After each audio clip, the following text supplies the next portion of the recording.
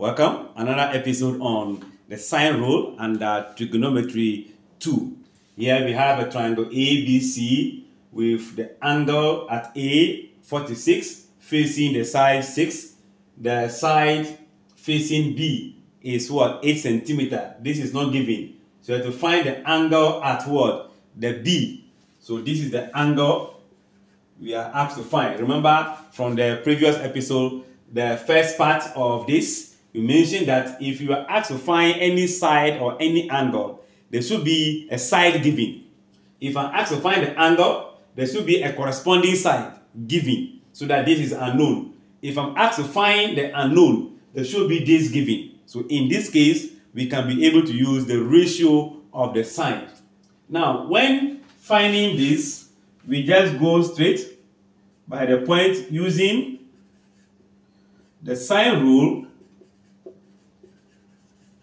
it is good to begin with the angle, therefore, sine theta, which is the angle at B, divided by the side facing B, which will be 8, equals to which angle is given? Angle at A.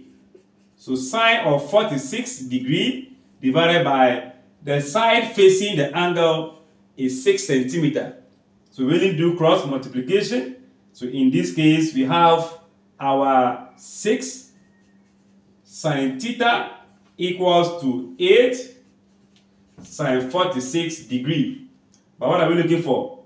Theta. So we have 6 sine theta divided by 6. 8 sine 46 divided by what? 6.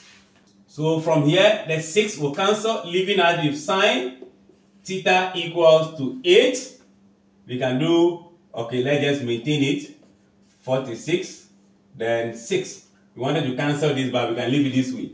We are looking for theta. So our theta will be equals to the sine inverse of 8 sine 46 degree divided by 6. Let's put all into it to avoid uh, finding this in decimal, truncating it with some number of decimal places before using it. Let's use all the values as it will be in the sine inverse.